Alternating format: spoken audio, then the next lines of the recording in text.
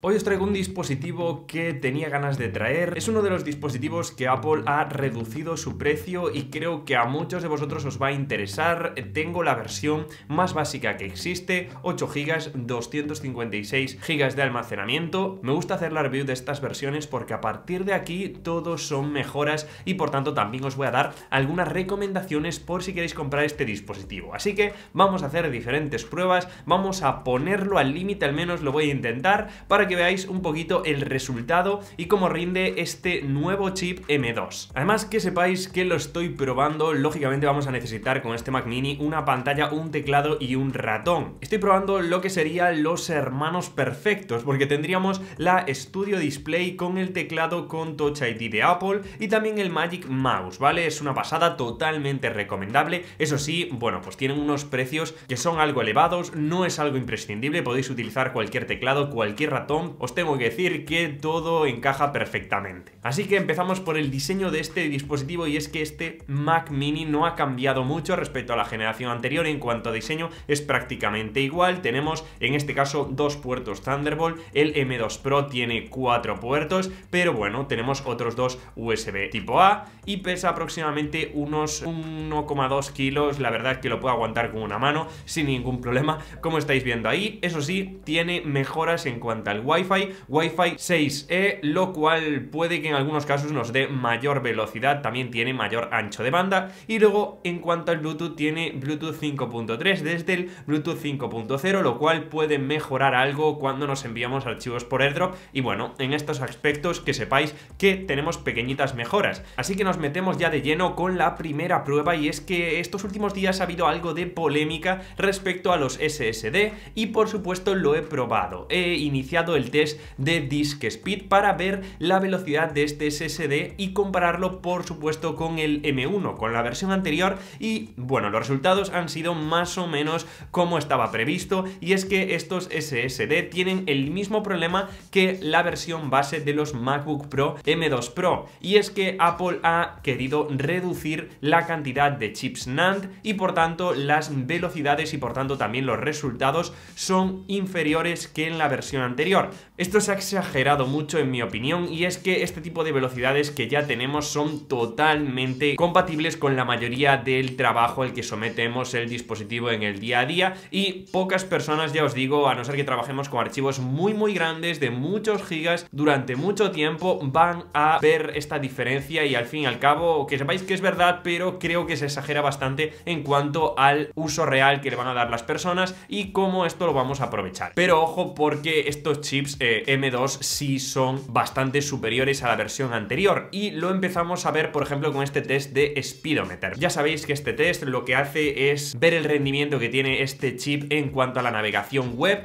y lo podemos ver con estas puntuaciones. La diferencia es casi del doble, me parece una puntuación bastante, bastante de mejora, pero ojo porque también he probado ya con esta primera prueba abrir muchas aplicaciones a la vez y ver si realmente el dispositivo va fluido y la verdad que lo he puesto a un límite bastante, bastante extremo. He utilizado Google Chrome, que sabéis que consume muchísima RAM, con unas 10, de 10 a 15 pestañas. También he abierto el calendario, también Apple Maps, alguna que otra aplicación. Y por supuesto estaba editando un vídeo en Final Cut. Esto ha puesto al límite directamente la RAM de 8 GB que tiene. Y por supuesto notábamos como en algunos momentos sí que este dispositivo no era todo lo fluido que nosotros esperábamos, le teníamos que dar bastante tiempo, estaba prácticamente llena la RAM. Y por tanto sí que si vamos a trabajar con muchas aplicaciones a la vez sería recomendable pasar de 8 GB que sería la versión básica a por lo menos 16 para que no sucedan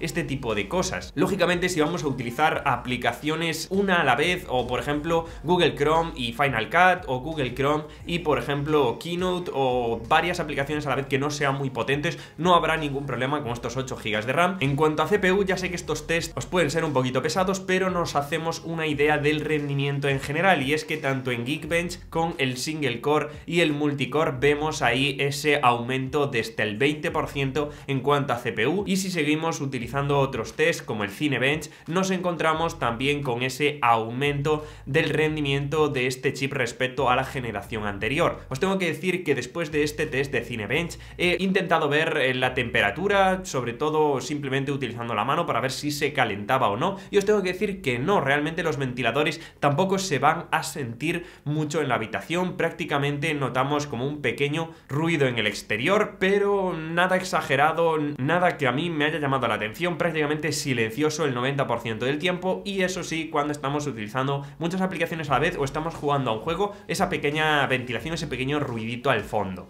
En cuanto a GPU es donde encontraremos prácticamente las diferencias. Sucede desde el M1 hasta el M2 o desde el M1 Pro hasta el M2 Pro. Aquí es donde yo creo que existen cambios más evidentes y para que os hagáis una idea he estado editando un vídeo en Final Cut Pro con algunos detalles, con algunos efectos, he añadido algunos cambios de color y os puedo decir que un vídeo aproximadamente de 10 minutos está sobre los 6 minutos de tiempo de exportación. Estoy exportando este vídeo de 10 minutos con poca edición con simplemente varias capas, una canción y luego exportándolo a una codificación H264 a 4K, para que os hagáis un poquito a la idea de cuánto puede tardar este dispositivo en cuanto a exportación sin ningún problema. También, como siempre, he querido probar el League of Legends a calidad media, a unos gráficos medios y la verdad que está rondando los 150 FPS, una potencia que es comparable con el otro día con el M2 Pro que estábamos eh, utilizando, prácticamente rondan los mismos FPS, la calidad y la fluidez la verdad que es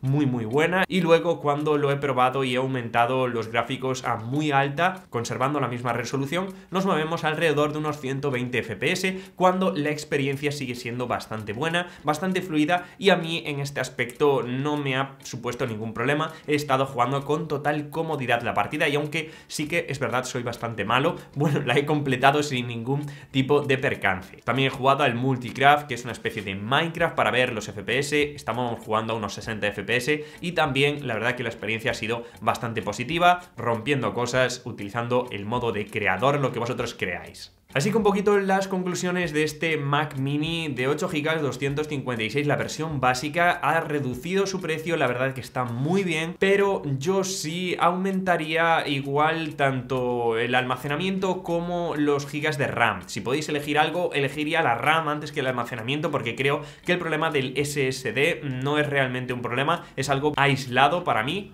pero sí creo que si vais a darle una carga de trabajo, como hemos visto, con muchas aplicaciones abiertas, muchas pestañas en cuanto a navegación web o en cuanto a ofimática, con algo de edición de vídeo o edición de fotos, sería recomendable ese aumento de RAM para que todo vaya de una manera muchísimo más fluida. Si sois semiprofesionales o queréis realizar vuestra actividad creativa, vuestra actividad de trabajo de una manera un poquito más pro, yo sí elegiría el M2 Pro, aunque en ocasiones bastante selectivas. Probablemente ya vosotros sabréis si lo que realizáis requiere de un M2 Pro o de un M2 y esto es algo que no me puedo meter en vuestra mente para saberlo. Y si queréis algo portable, ya hemos visto, hay muchísimas opciones en cuanto a MacBook y por cierto os voy a dejar por aquí un vídeo donde os explico qué MacBook comprar, también incluyo los Mac de escritorio, dime en los comentarios cuál queréis que sea el siguiente dispositivo en que haga una review o que compare diversos dispositivos y aquí estaré para hacerlo, por supuesto. Así que nos vemos como siempre chicos en el siguiente vídeo. Chao, chao.